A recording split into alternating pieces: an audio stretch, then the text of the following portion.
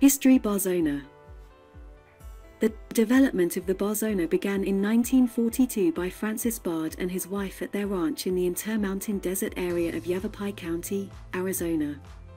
They hoped to develop a breed that would be adapted to their area which was rugged and rocky, with extreme temperatures, sparse rainfall, and scattered feed.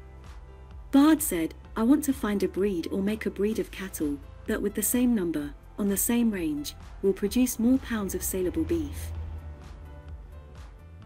In 1946, E.S. Jack Humphrey joined with the Bards and took over the management of the breeding operations. He combined the genetics of the Afrikander, Hereford, Angus, and Santa Gertrudis.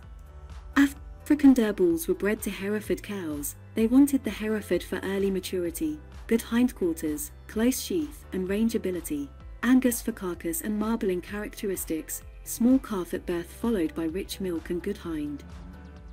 The African Afrikander for good milk production, ability for high browse utilization, small calf at birth, hide, pigment and hair coat for heat and insect tolerance, close sheath, body depth, and genes for marbling without excessive back fat. Santa Gertrudis bulls with the sh shorthorn factor were also used because it was felt that 3 8 Brahma blood in the Santa Gertrudis was good from the standpoint of browse utilization, hair and hide, small calf at birth and good milking ability. This basically completed the infusion of blood into the genetic pool and the Barzona breed was slowly developed by the studies with careful, planned matings to blend these different breeds and fix the desired characteristics. No outside blood was added to the herd after 1955. Production records were maintained a rigid selection was carried out for fertility, rate of gain and mothering ability. Those animals with the most desirable records were used back. In the breeding program,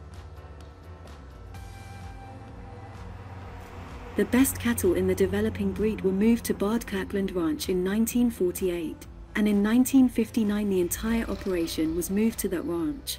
By 1968, Barzona cattle were genetically recognized as an established breed, were well accepted by feeders and packers and the bulls were in demand by commercial ranchers for use in crossbreeding programs. As increasing numbers of cattlemen were becoming interested in having purebred herds, the need for a breed association was apparent. In January 1968 the Barzona Breeders Association of America was formed in Phoenix.